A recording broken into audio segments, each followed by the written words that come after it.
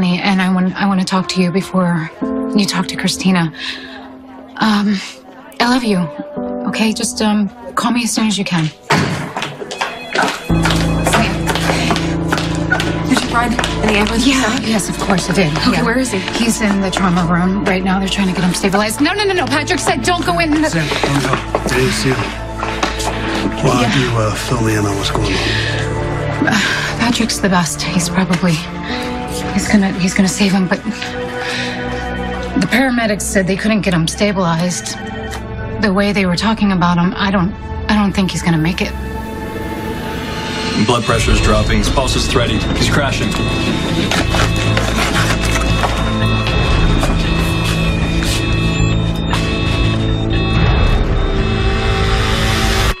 Get another line in, wide open. What's Need two units of happening? O-neg. Gotta get his pressure up. Sonny, I'm here.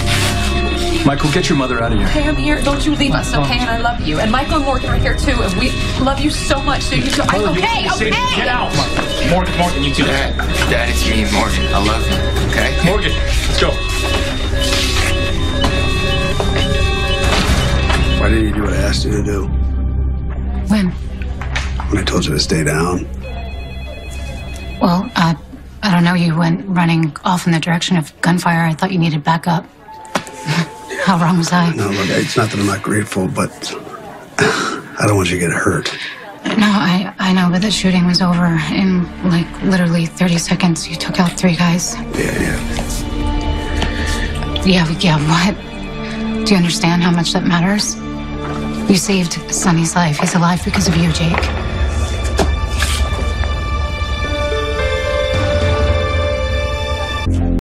How's Sonny?